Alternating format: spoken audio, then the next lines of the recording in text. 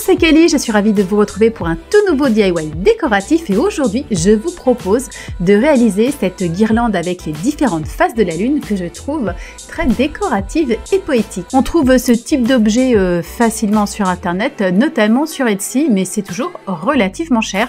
Du coup je voulais vous proposer une alternative économique et pour ce faire je dégaine ma pâte Action autodurcissante. Comme vous le voyez je vais me servir un petit objet circulaire pour faire un gabarit et découper mes formes. En fonction de la longueur de la guirlande que vous souhaitez réaliser, bien entendu, il vous faudra fabriquer plus ou moins de formes de lune. Pour retravailler et égaliser la pâte, c'est très simple, je mets de mon petit exacto et on peut tout à fait aussi lisser euh, cette pâte au doigt avec un tout petit peu d'eau. Toutefois, personnellement, je ne voulais pas que ce soit euh, trop lisse, mais euh, que ça a un petit côté un peu brut pour que ça garde du cachet, mais après c'est affaire de goût. Pour réaliser les demi-lunes et les différents quartiers, je réutilise le même petit gabarit m'aider jusqu'à obtenir le bon nombre de formes.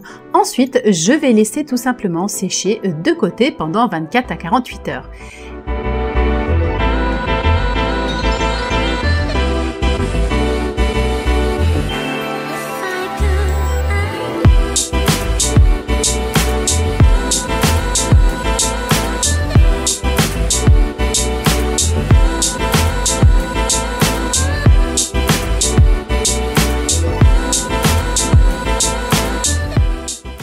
Pour terminer, je vais appliquer une jolie peinture dorée qui provient de chez Sostrengren. Je laisse sécher ensuite la peinture et en toute dernière étape, je viens fixer les différentes faces de la lune sur un joli fil métallique. Et voilà, c'est terminé. Un petit DIY qui est décoratif, qui est vraiment très mignon. Vous pouvez euh, le suspendre. Il peut être accroché à un mur ou bien posé sur une étagère. Ça peut aussi être une excellente idée de cadeau. Et comme vous l'avez vu, c'est économique et très facile à réaliser. J'espère que cette nouvelle idée euh, décorative vous a plu. Si tel est le cas, faites-le moi savoir. J'attends toutes vos réactions en commentaire. Et surtout, si ce n'est toujours pas fait, filez vite vous abonner à la chaîne. N'oubliez pas non plus d'activer les notifications pour toujours être alerté des nouvelles vidéos. À bientôt les câlinettes